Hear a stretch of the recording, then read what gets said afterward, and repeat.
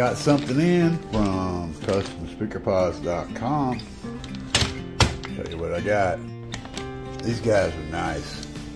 They're made from the same plastic they use on their speaker pods, and uh, so it's really rigid. And the depth on them is high enough to be able to uh, handle a pretty high excursion speaker.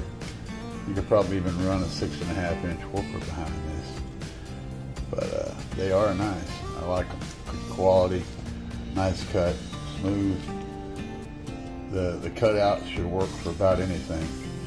But uh, we're going to test them out and see how they work. Alright, so I got one of my Audio Dynamics 3000 series uh, coaxials. I'm going to put them on here.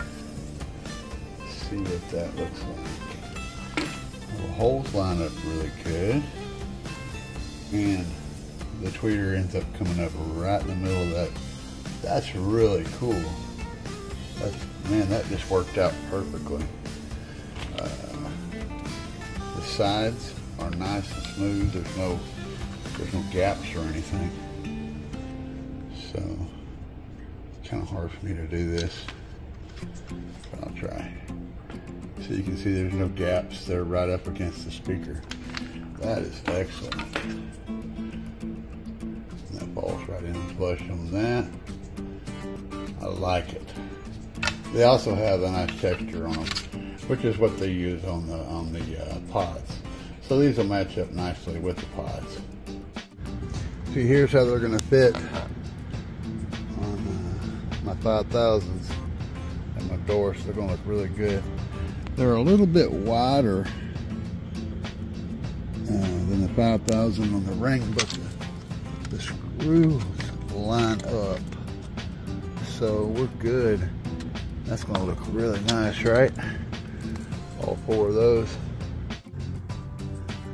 Well, got them installed. All four. And I think they look great. And they'll offer some good solid protection from foot action hitting these things. As me myself, I can keep my foot out of them, but my passengers, not always. So this will take care of that problem.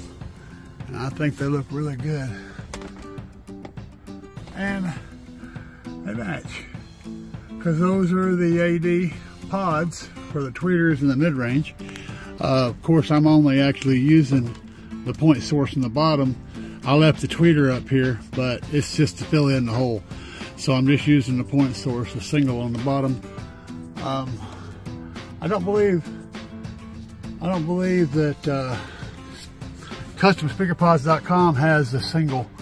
I'll have to ask them about it or look it up on the internet. Uh, I might end up switching those out, but I really like those point sources up there. So yeah, good times all around.